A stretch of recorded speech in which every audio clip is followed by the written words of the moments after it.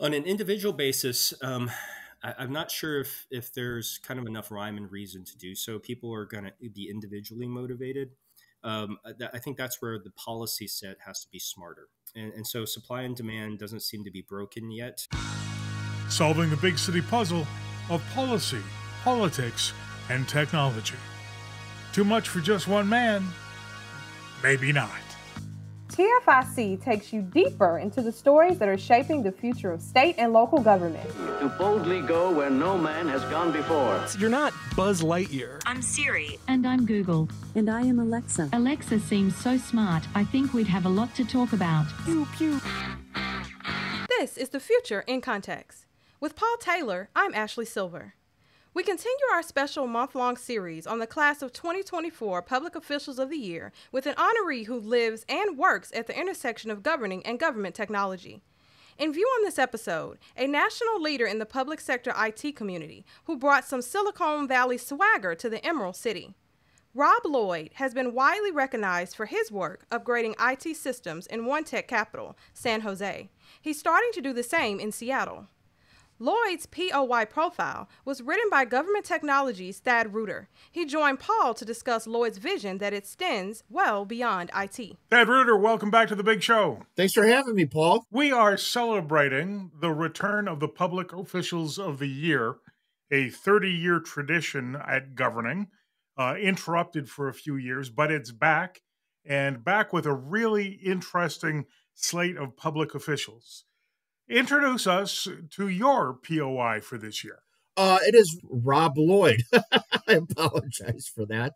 Uh, he just uh, he just he just took the big tech job in the city of Seattle, coming from San uh, San Jose. He was he was officially confirmed uh, just a few brief weeks ago. City of Seattle's uh, been extremely welcoming and warm. Uh, couldn't ask for a, for a, a, nicer group of people, and uh, a great set of challenges as well. Uh, Mayor Harrell's laid out a great strategy and approach and has been pretty fearless in, in how he wants to take things on. You mentioned he comes from San Jose, uh, coming up to Seattle.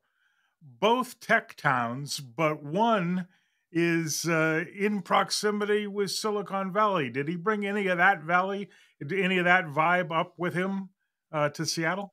I believe he did. I mean, uh, when I uh, when I interviewed him, he wasn't even confirmed yet, so it was still very early. But yes, uh, if you talk to people who knew him in San Jose, he was a guy who reached out to everybody, including the uh, including the private uh, so-called big uh, big tech firms out there. He'd like to get everyone in a room, so to speak, and you know, you know, tap tap their brains, get their inputs into in, in, into perhaps how they are seeing uh, seeing seeing a problem as well. I've had the opportunity twice other in my career, and just uh, it wasn't the right time. In San Jose, it was right because I really admired our city manager Jennifer Maguire and said, "All right, I, I wanted under her because she had a style where I thought I can be part of a solution uh, set." And then it does change your point of view. So, like when you're a director, you manage a mission and a resource where you're going in a direction and it's very defined and you know exactly that mission. And then when you're a deputy city manager, you have a remit and a large umbrella and you're leading leaders and you're really uh, supporting them and saying, how do we work across boundaries? And you support them as they define their missions. Um, and it does uh, alter your thinking. Um, and then sometimes you're a little frustrated because you're like, I'm not the leader here. I am the person making sure the leaders are doing and having what they need to lead.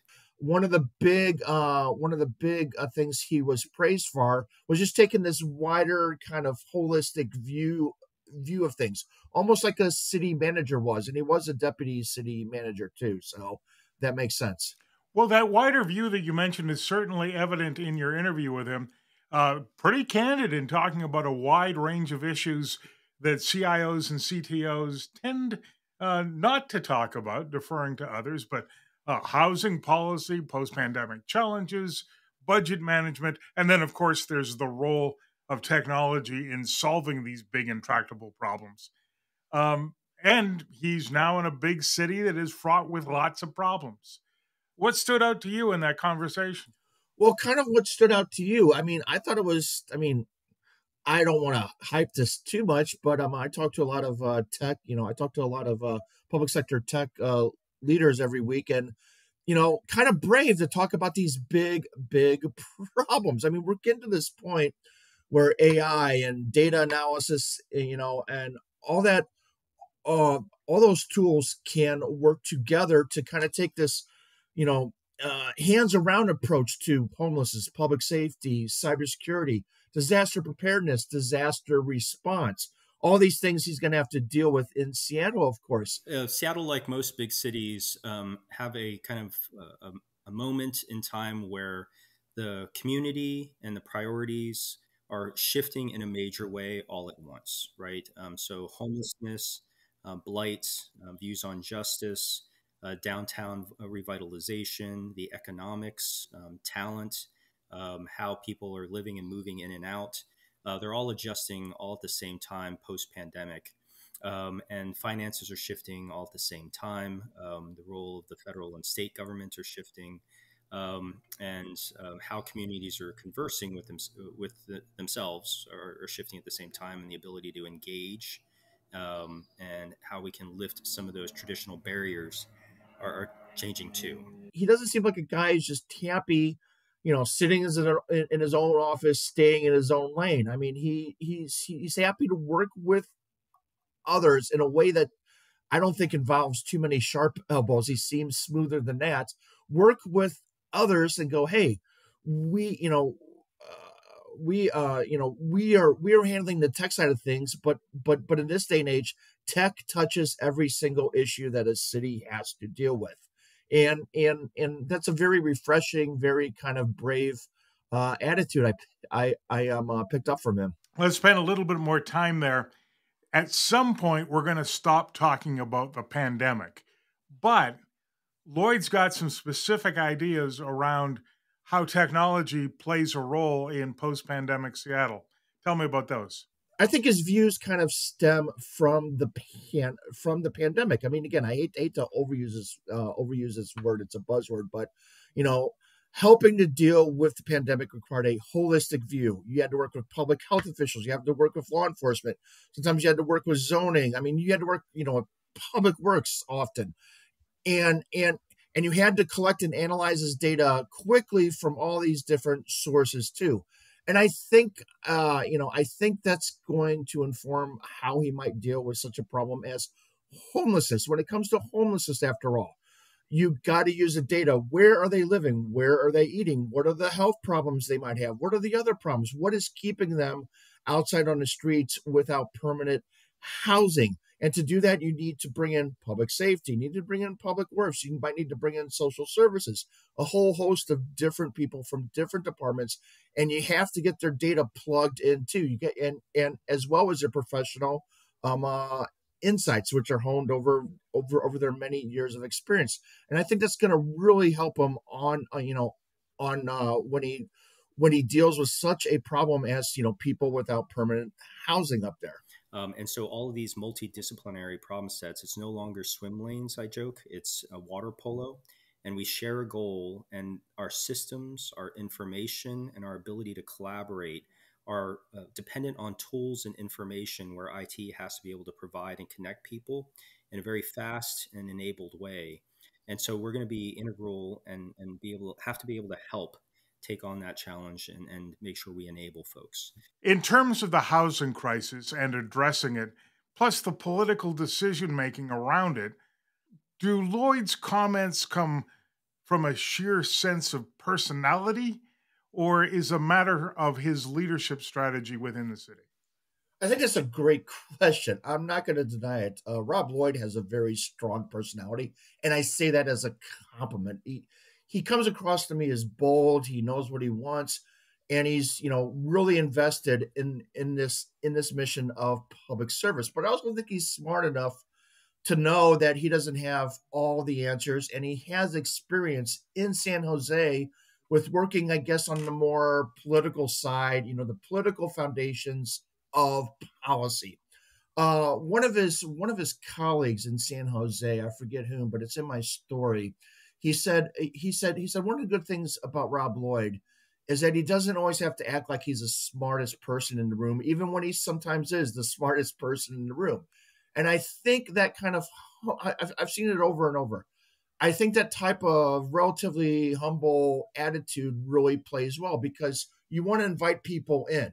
You want to have the benefit of their experience and their insights, and of course their data. And I think uh, I think Rob Lloyd uh, knows how to do that. And just to give you the punchline, I failed. I, I didn't get make the um, the housing affordable in the Bay Area. um, we, we, we got some incentives through, but man, what a challenge it is. Um, and, I, and I worry about um, families in the future. Um, you know, what we've set up uh, and generations have set up, um, that housing crisis is going to be a multi generational one. But um, the the challenge set and Mayor Harrell actually had a, a good way of putting it once. He said, sometimes you don't like it, but you got to step on the scale. And there's a price of leadership, which is you, you got to just take on your challenges. One of the challenges that public officials face is getting more smart people in a room. And in your conversation with him, Rob pointed out a number of times the importance of both leadership, but also mentoring and retaining talent. What distinguishes his approach from other employers in the city?